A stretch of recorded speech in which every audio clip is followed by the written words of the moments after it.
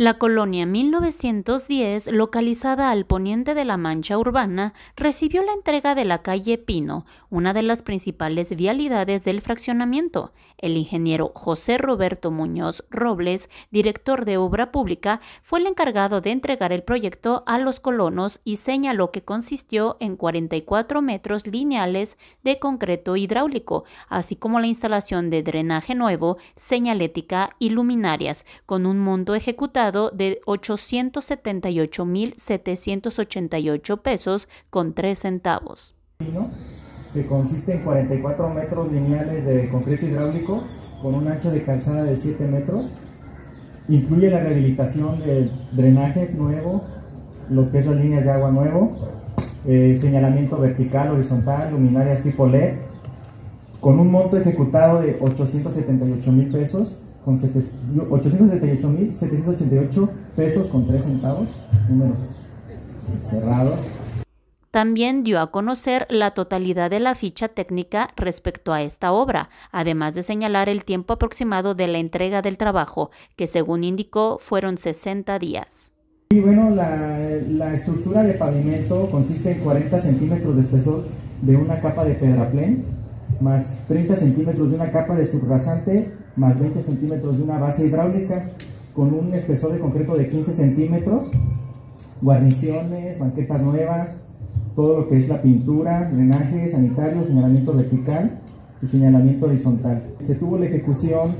en un tiempo prácticamente de lo que fueron 60 días, creo que fue un tiempo adecuado reconoció la labor del ingeniero Mojarro, quien desafortunadamente ya no se encuentra en este mundo, y a quien le atribuyó la construcción de esta vía. Y también estamos muy orgullosos porque esta calle la construyó un ingeniero que ya se nos adelantó, que es el ingeniero Mojarro, Juntano Mojarro, que aquí nos este, acompaña su hija Sara Mojarro, y la cual este, pues tuvimos la oportunidad y el orgullo de que nos apoyara aquí en la administración eh, bueno, parte de, los, de las obras de la administración, para lo cual sí, sí les pediría que le diéramos un fuerte aplauso.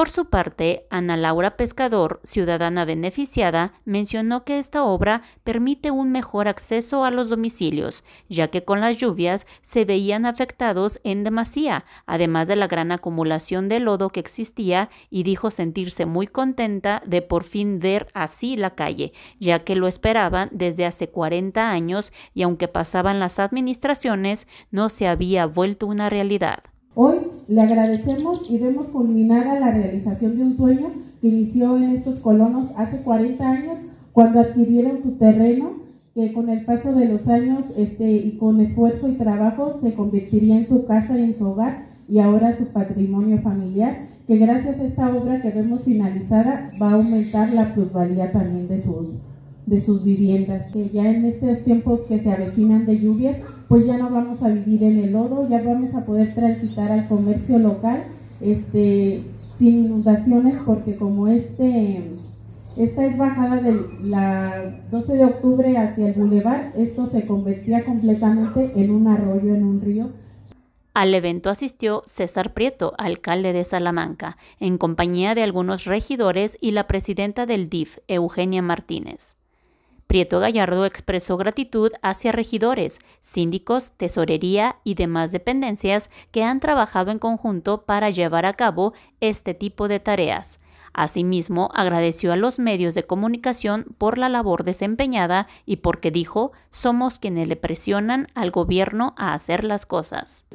Pero no es un trabajo nada más de la administración, nosotros nos toca la parte ejecutiva. Yo la verdad sí agradezco también el, el respaldo aquí de mis compañeros regidores, eh, síndicos, que también los voy a mencionar uno por uno porque también es importante que conozcan que no solamente es el presidente municipal el responsable de ejecutar, yo soy responsable de lo malo, pero de lo bueno, este, sí quiero decir que es un equipo de, de trabajo del ayuntamiento, el director de Obras Públicas, Desarrollo Social, varias dependencias que hacen un enorme esfuerzo por tratar de mejorar las condiciones de vida de nuestra ciudad, de reconstruir este tejido social que está tan tan dolido a nivel nacional, a nivel estado y en Salamanca.